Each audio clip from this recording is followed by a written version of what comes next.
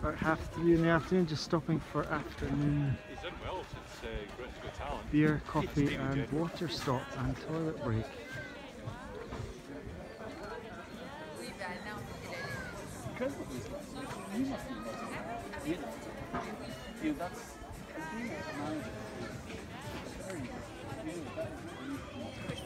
Quite nice.